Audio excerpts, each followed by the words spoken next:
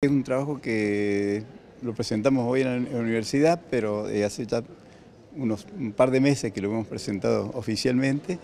Y bueno, fue un trabajo de, meses de investigación, de, rastrear datos, hechos, eh, imágenes para, para poder eh, trasladarlo al libro, sobre, con la idea de trabajar sobre esto de los 40 años de la democracia tema es el humor en los 40 años de democracia. Exactamente, sí, sí, sí. Tiene, eh, el contenido es el humor eh, gráfico mío eh, relacionado con los hechos y también las caricaturas de Magalú reflejando los personajes de la cultura, de la, vida social del país.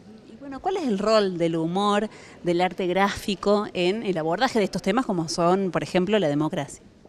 Mira, eh, por ahí no está muy claro cuál es exactamente el, rol que tiene, ¿no es cierto? Pero pienso que va para el lado de, primero, eh, de reflejar eh, desde otro punto de vista, desde otra mirada, los hechos que van sucediendo y también para el lector, para el dibujante, pero también para el lector funciona como una catarsis para los tiempos más difíciles y la posibilidad de presentarlo hoy en la universidad, aquí en la biblioteca. Sí, sí, seguro, seguro. Eh, me parece que una linda oportunidad, agradecer a la universidad que nos, ha convocado y bueno, espero que salga una linda charla.